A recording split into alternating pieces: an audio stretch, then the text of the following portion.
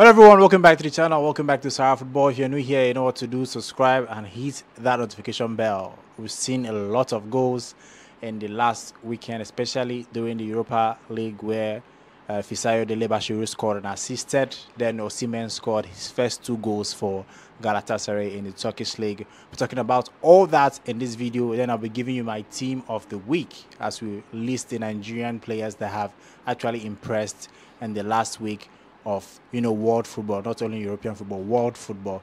So without wasting much time, we'll get right into it. But before we do that, subscribe and hit that notification bell if you haven't.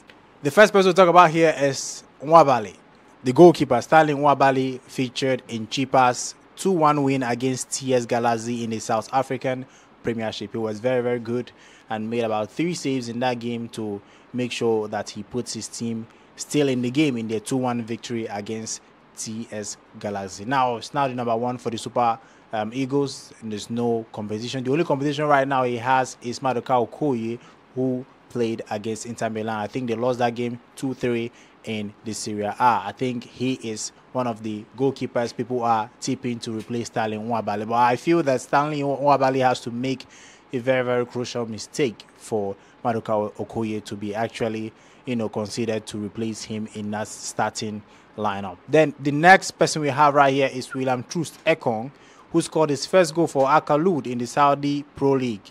He scored a very great penalty against Bono, who was very good in saving penalties, but he couldn't save that.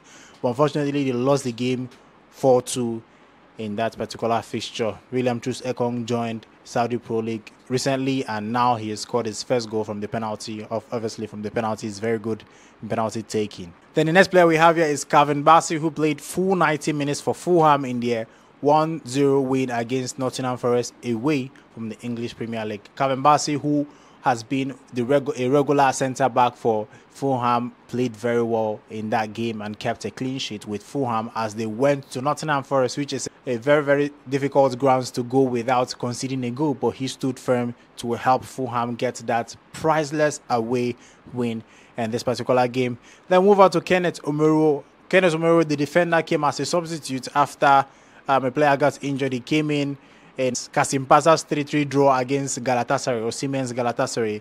He came in in the first half after a, play, a defender got injured and he put in a good shift to uh, in that game as they made a comeback against um, Galatasaray in that game. I think everyone know that that was a very very shocking result because Galatasaray was actually leading 3-0 before the um, uh, Kasim Pasas came back to win to get a points 3-3 draw in that game. So it was a very good game for Kenneth Omeruo who made some great interceptions, clearances, and some good good performance to make sure that his team got that comeback. Then we talk about Chidera Ejuke in Sevilla. He is a very electric player.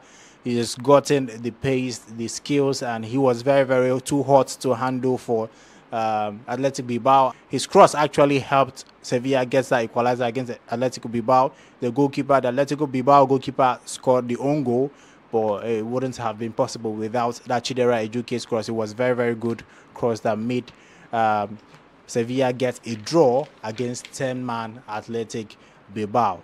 Then Ademola Lookman put in a good shift. He was a very, very good player in that game. He played very well, created one big chance in that game and could have scored, but unfortunately he couldn't. He put in a good shift for Atalanta in the 1-1 draw against Bologna away from home. They could have won that game, but the you know the football gods we are not in the favour in that particular fixture, and they shared the spoils in that game. 1-1 draw, that game ended, but Ademola Lookman was one of the best players in that game. Then we talk about Wilfred Ndidi, who helped Leicester in that game against Arsenal. He played very well, but unfortunately they fell apart in the last minutes of the game and they registered his fourth assist of the season in Leicester's 4-2 defeat against Arsenal at the Emirates. They they could have gotten at least a point, but in the dire embers of the game, Leicester City lost the concentration. But Ndidi was unlucky to score that own goal. It was very, very good until that moment. Fourth assist so far in the English Premier League this season. There we'll talk about Dele Bashiru Fisayo, who featured in Lazio's Europa League game. I'm surprised he didn't play a single uh, minute in their last game uh, in the Serie A. That's after his impressive performance, a goal and assist against Dynamo Kiev uh, in the Europa League. He should have featured in their last game, but maybe he is a player for the Europa League and someone else will play in the league. That is that is probably the idea the coach has or the plans they agreed on.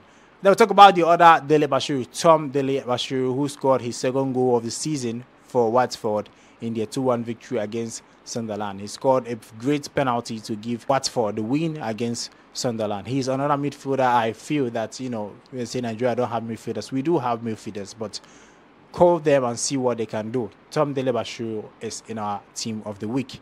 Then, as for the striker position, hmm, I'm sure this is what everyone has been waiting for the striking position.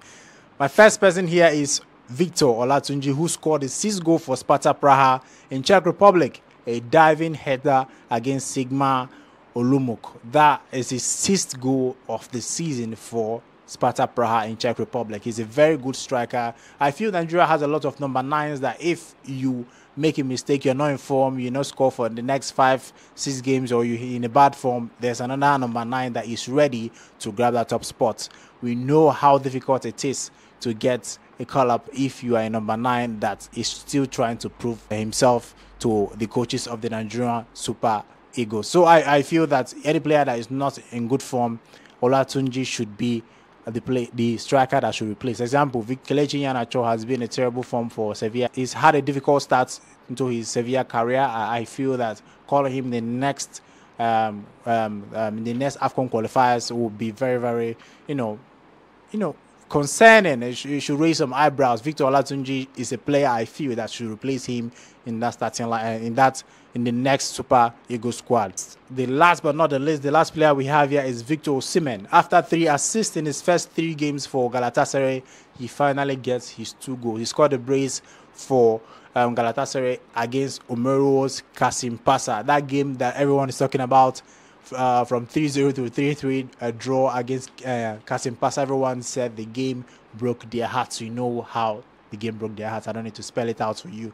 But Galatasaray were very pleased to see Victor Osimhen scoring for them. He has now assisted three goals, scored two goals. That he's been involved in five goals uh, for Galatasaray since joining them. Incredible, incredible performance from Victor Osimhen, who scored two incredible goals against Kasim Pasa. That's Omeruo's Kasim Pasa. So I'd like to know your thoughts. Which player impressed you most, or which player should I have included in this list, or which player is missing from this list? I would like to know your thoughts in the comment section. Tell me which player you think deserves to be on this list. So let's go over the players again. We talk about Nwabali um, from Chippa United. William Troost Ekong, who scored his first goal for Al-Kholood. We talk about Calvin Bassey, who was very instrumental in Fulham's 1-0 uh, um, victory against Nottingham Forest in the English Premier League.